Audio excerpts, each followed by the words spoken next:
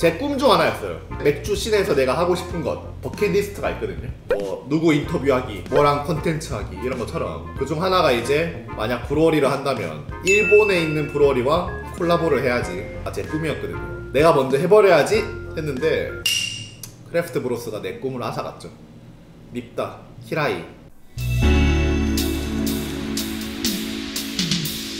그렇습니다. 진짜 미쳤죠. 국내에서 그래도 이견은 있지만 최고의 brewery 중 하나라고 불리는 국내 brewery 크래프트 브로스가 이번에 일본에서 최고의 brewery 중 하나라고 평가받는 웨스트 코스트 브루잉과 콜라보레이션을 해가지고 이렇게 맥주를 냈어요. 얘 맥주의 이름은 홉 브로스고요. 나 라벨 한번 보여드릴게요. 되게 재밌어요. 이 라이프 느낌을 살리면서도 좀 콜라보 맥주 느낌이 있거든요. 라벨이 되게 일단 귀엽다라고 얘기를 하고 싶고. 그래서 이번에 웨스트 코스트 브루잉 같은 경우는 제가 이번에 일본 여행 갔다 온 거 영상 보시면 몇 개 나오는데 다 수준 높고 괜찮았어요. 라거부터 해가지고 뉴잉글랜드 IPA까지 꽤 괜찮았어가지고 궁금한 brewery 중 하나인데 걔 또 국내 최고의 뉴잉 중 하나를 만드는 크래프트 브로스와 콜라보를 해가지고 더욱더 기대가 되는 것 같아요. 그리고 다음 주에 도쿄에서도 release가 되니까 혹시 일본에 사시는 분이라면 일본에서 한번 구해보셔도 좋을 것 같네요. 캔입은 캔입은 3월 22일이니까 4일 됐네 4일 상당히 신선하죠. 좋습니다. 자, 이 맥주에 대해 설명을 읽어보면 일본 시즈오카의 웨스트 코스트 브루잉과 대한민국의 크래프트 브로스가 함께 만든 첫 번째 콜라보레이션 맥주라고 해요. 첫 번째라고 돼 있으니까 두 번째, 세 번째가 있지 않을까 하는 그런 좀 암시하는 느낌도 들고 스타일은 더블 뉴잉글랜드 IPA네요. 도수는 8.2도 그리고 모자익, 엘도라도, 이지코멧이라는 세 가지 홉을 사용해가지고 만든 맥주인데 소위 말하는 사기 홉인 시트라나 갤럭시가 아닌 뭐 모자익도 사기긴 하지만 요즘 많이 사용되지는 않죠. 모자익을 이제 베이스로 해가지고 엘도라도랑 이지코멧이라는 홉이 사용되었는데 이 이지코멧이라는 홉이 꽤나 재밌더라고요. 그 웨스트 코스트 브루잉에서 굉장히 선호하는 홉이라 해가지고 이 맥주에도 사용했다고 하시는데 좀 더 클래식한 느낌의 홉 이라고 하셨어요. 그래서 이번 콜라보가 또 재밌는 게 크브에서 이렇게 만들었잖아요. 그럼 뭐가 콜라보냐라고 하실 수 있는데 이번에 웨스트 코스트 브루잉에서는 똑같은 홉 조합을 사용한 서부식 IPA를 만들어요. 그러니까 이제 이 모자익 엘도라도 뭐 이지 코멧으로 해가지고 일본에서는 서부식 IPA가 나오고 한국에서는 뉴잉글랜드 IPA가 나온 거죠. 이것도 약간 좀 뉴잉이랑 서부식이랑 대비되는 느낌이다 보니까 한국과 일본의 콜라보라는 그런 concept이랑 더욱더 잘 어울리는 것 같아요. 저는 언제나 콜라보는 이게 중요하다고 봐요. 그러니까 편의점에 워낙 개떡 같은 콜라보가 많으니까 저희가 오늘날 콜라보 맥주가 뭔지 조금 희미해졌는데 제가 생각하는 콜라보는 좀 이런 느낌인 것 같아요. 이 서로 잘하는 것들을 좀 뽐내면서 또 서로에게 배운 배움과 뽐냄과 홍보의 장. 이 저는 콜라보라고 생각하거든요. 그래서 서로 많은 얘기를 해가지고 똑같은 뭐 재료 이런 식으로 컨셉을 살리면서도 이런 식으로 만든 게 되게 재밌는 것 같습니다. 뭐 그 외에는 굳이 설명할 건 없고요.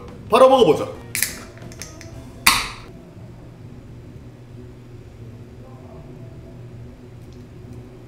오 향이 여기까지.